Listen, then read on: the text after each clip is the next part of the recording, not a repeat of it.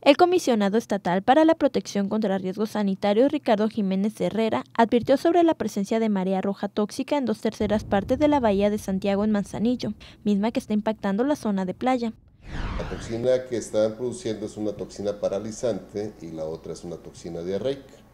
Por lo tanto, a este evento se le denomina un florecimiento algal nocivo porque puede traer este, riesgos a la salud. Por ello, a partir del 26 de abril, a través de las tres jurisdicciones sanitarias, se envió una alerta precautoria para los expendedores de moluscos bivalvos con el objetivo de evitar el almacenamiento, extracción y venta de estos productos que hayan estado expuestos a la marea roja. Afortunadamente en el estado no hay cosecha de moluscos bivalvos, pero sí pudiera ser extracción de manera silvestre.